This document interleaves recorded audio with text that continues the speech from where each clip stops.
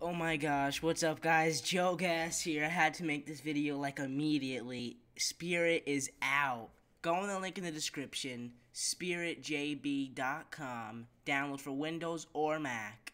For those of you who don't know what this is, this is an untethered jailbreak for the iPad, iPhone, and iPod Touch.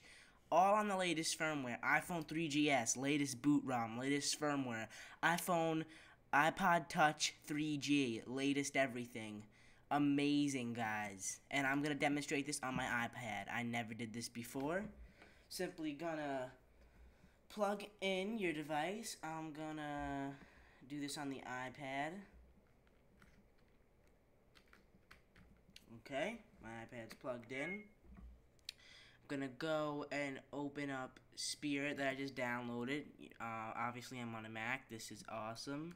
Ready, iPad 3.2 connected, jailbreak jailbreaking, jailbreak complete. My iPad has this nice little rainbow effect and a loading bar. Now it's just twirling around. Okay guys, and now it's done. So I'm gonna unlock my iPad. And as you can see on the second page, you have Cydia right there.